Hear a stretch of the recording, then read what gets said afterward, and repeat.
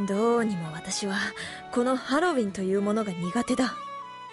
え？どうしてかだって？そんなの決まっている。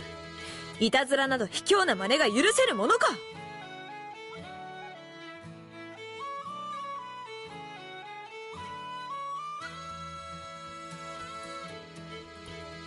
正々堂々真正面から戦うべきだと思うのだ。ってえ？ハロウィンというのは軍事演習ではなかったのか？いやしかしだな。変装して建物内に潜伏し吸収する作戦だと私は聞いて。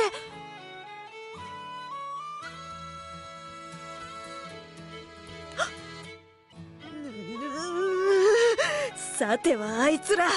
団長の私に一杯食わせたな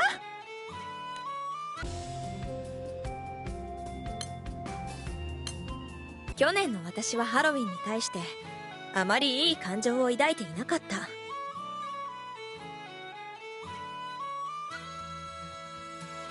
だがこうしてみると子供も大人も皆笑顔でこの行事を心から楽しんでいるのがわかる。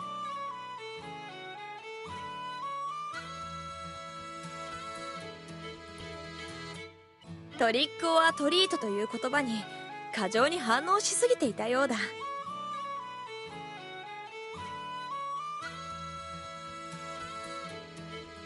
危うくこの笑顔で溢れ返る場にとんでもない冷や水を浴びせてしまうところだった。そうならなくて済んだのは昨年団長殿が私の勘違いを正してくれたおかげだ。感謝する。